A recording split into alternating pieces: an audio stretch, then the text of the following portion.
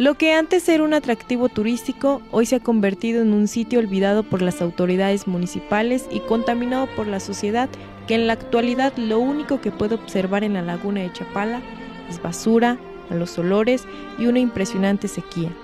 Vendedores del atractivo turístico señalan que la visita extranjera ha bajado su nivel hasta en un 30%, pues afirman que de lunes a sábado la visita al lago es casi nula, mientras que los domingos el turismo se eleva aunque no igual a los años pasados.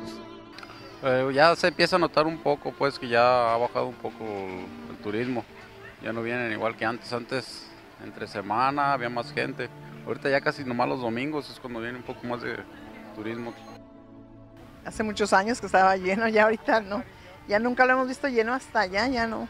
Ya no lo hemos visto. Yo, cuando yo, yo venía, ¿qué les sé decir? Cuando yo tenía como 15 años, y el agua llegaba hasta allá, hasta las orillas. Estaba bien lleno, pues.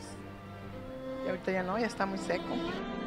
Además de mostrar una sequía, presenta una contaminación de plaguicidas y pesticidas que a la larga pueden provocar enfermedades en los habitantes del municipio y también del estado.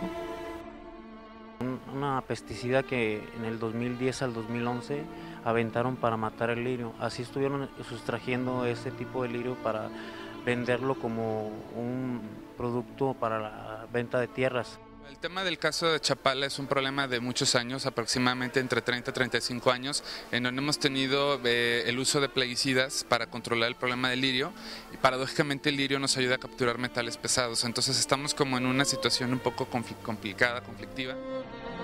Ahora recorrer el malecón de Chapala sirve solamente para decepcionarse de lo que el tiempo se ha llevado, en donde miles de litros de agua se han ido desde hace más de 10 años, espacio en que el lago ha perdido líquido y turismo.